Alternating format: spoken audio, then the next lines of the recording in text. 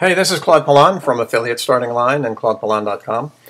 Short video on how to um, turn off the feature in your browser that manages and retains your passwords.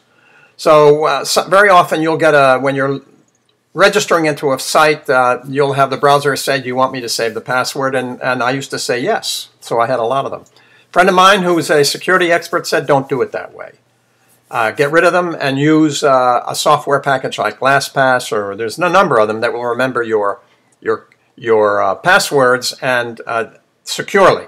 So how do you turn off? Let's, this video is about how to turn off that uh, tool in your browser. In case of Chrome, that's what I mean. You come up here to your icon, your management icon for the, and you come down to Settings. This will send you into the settings screen, and you come down to the bottom here and do Show Advanced Settings and open that.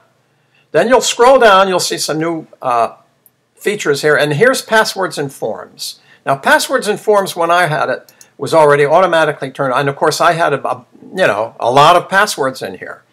So I unchecked them, and then I went into this particular uh, link here, Manage Passwords, clicked it. Now, when I opened these two boxes, they had plenty of, of passwords in it. So uh, what I did was I'd highlight one, and then you'll see a little gray X appear in the upper right hand corner of the highlighted uh, box. You'll see, and you click it, and one by one, I eliminated all my passwords. And then when I was all clear, I clicked done, and then I left these unchecked. That way, uh, Chrome will no longer ask me to save passwords, and I'm automatically saving them into a, a program called LastPass that it asks anyway.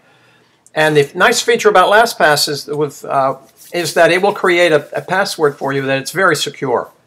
So that's it that's what you want to do. And uh, the same thing for Microsoft, for uh, Firefox or Safari or IE. You go into your settings and find the, the um, password and form management portion of that browser and turn them off. And that's it. So I hope this has been helpful. This is Claude Pelanne Affiliate Starting Line. Stay with it. Stay well. Talk soon.